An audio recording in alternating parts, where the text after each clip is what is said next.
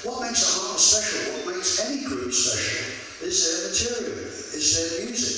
Because people, they listen to the radio, they buy records, it's music. If you, if you have songs, you have a life. If you don't have songs, you have no life. That's the basis of our industry, it's music, it's songs. Not how somebody looks, how long can that last? Three minutes, you know, it's crazy. We can take a-ha, they have an enormous amount of hits. I don't need to tell you that, that's why you're here today, because of your love and respect for the band and all the material they've written.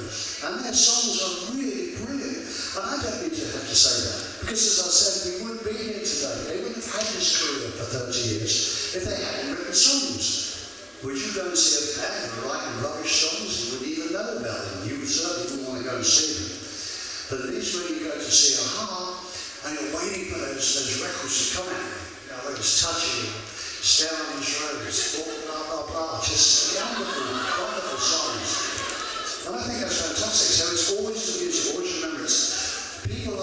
say, you know, a lot of groups fade or they uh, break up sometimes. And people say to me, why? I think, well, a lot of the time is when you stop writing hits. When you stop writing hits, ain't going to happen for a while.